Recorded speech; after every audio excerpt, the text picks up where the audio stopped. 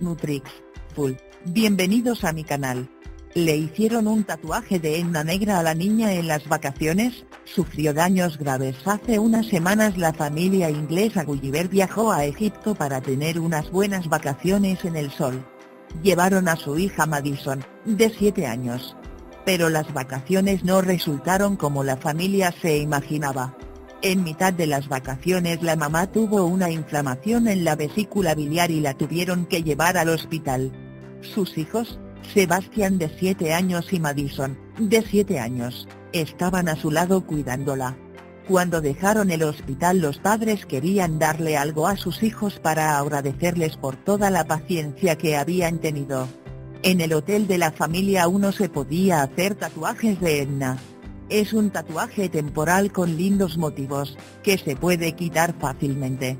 Los niños estaban muy contentos con sus tatuajes de Edna. Pero en la noche al niño le empezó a picar el brazo y decidieron quitarle el tatuaje. Madison no tenía problemas con su tatuaje, una semana después la familia regresó a Inglaterra y entonces el tatuaje de Madison empezó a picar. Los padres también vieron como su piel alrededor del tatuaje se había puesto rojo. Se lo quitaron y le echaron una crema para calmar la irritación. El día después el brazo había empeorado mucho.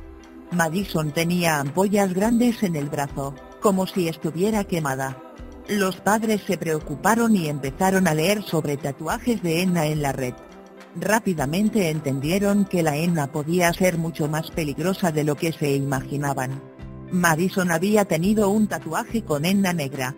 A diferencia de la henna normal la henna negra contiene PPD, la misma sustancia que hay en muchos colores de pelo. PPD está prohibido en Inglaterra, como puede causar reacciones alérgicas en la piel.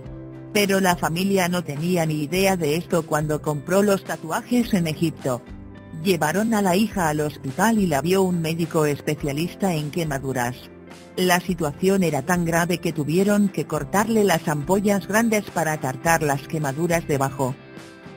Los médicos creen que puede tardar hasta dos años antes que la piel de Madison se ponga normal otra vez. Probablemente no le van a quedar cicatrices. Después del tatuaje de Enna Madison se ha vuelto sensible a otras sustancias también. Entre otras ha reaccionado contra la penicilina, lo cual nunca ha hecho antes. El papá de Madison ahora advierte a otros padres de nunca dejarle hacer tatuajes de henna en otros países. No vale la pena, cuenta. Esto no es la única vez que la henna ha causado problema. En abril una mujer, Sofía Akis, se hizo un tatuaje de henna en Marruecos que le causó graves daños. Ella también quiere advertir de no utilizar henna negra. Yo misma he visto cuando turistas se hacen estos tatuajes cuando es todo de viaje. Me parece que son muy lindos, y me pudiera hacer uno. Pero después de haber visto esto entiendo que no vale la pena. Ayuda a advertir a otros sobre la henna negra, para que nadie tenga que pasar por lo que Madison pasó. Gracias por visitar mi canal. Compártelo, no olvides suscribirte.